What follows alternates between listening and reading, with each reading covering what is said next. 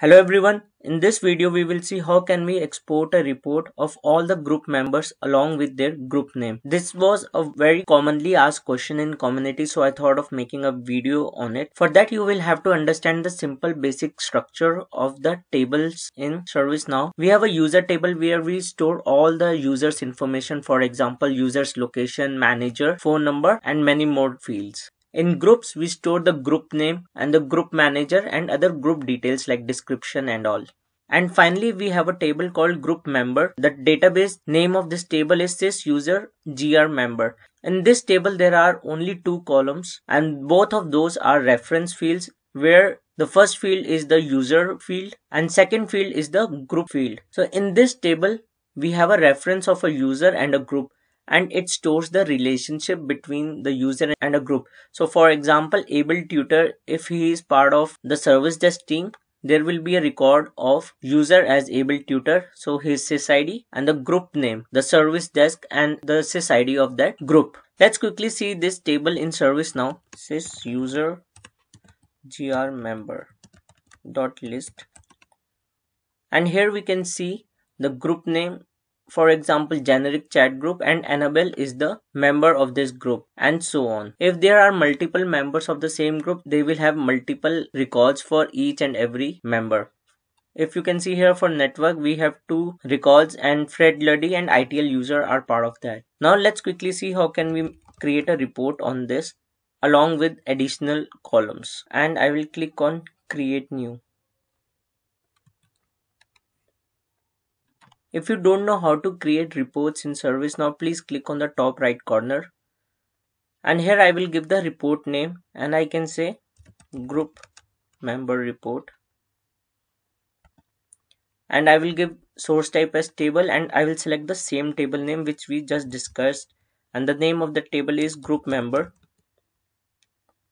And I will select this. I'll click on next. I will keep the type as list then I'll click on next.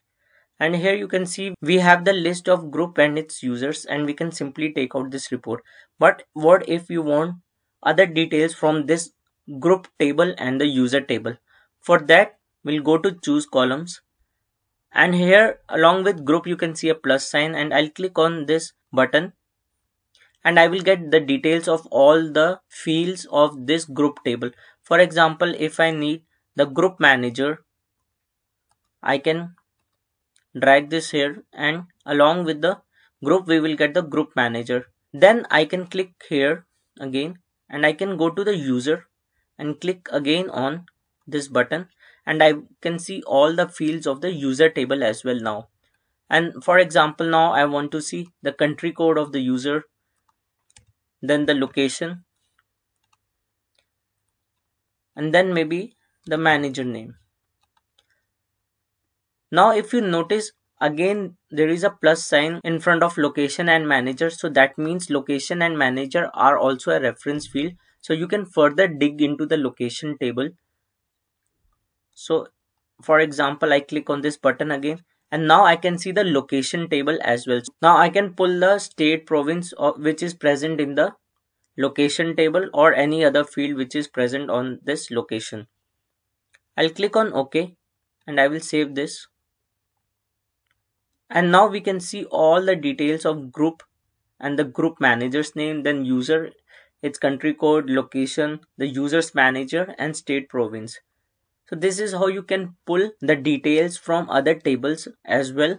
And then you can right click on any of the headers and export the report in excel xml json pdf as you want so when you export this report, be careful that the column names will come as manager here and this manager will come as same as manager. So when you are sending data to someone in the Excel, be sure to rename this as users manager or groups manager. So you have to be mindful of that. I hope this video was helpful to you. Please let me know in comments if you have any questions. Please subscribe to my channel.